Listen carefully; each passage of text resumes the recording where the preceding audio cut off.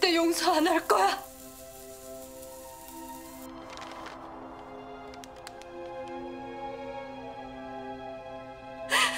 내가 당신을 용서 안 하는 이유는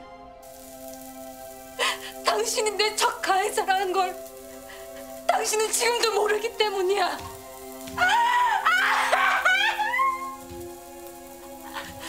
그러니까 웃지 마. 웃으면 네가 어쩔 거야?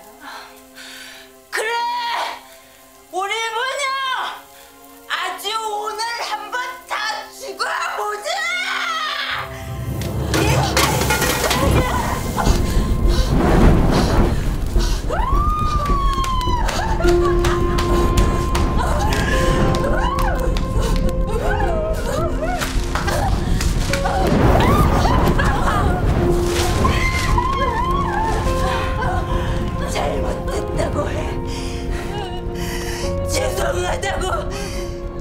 일어! 얼른!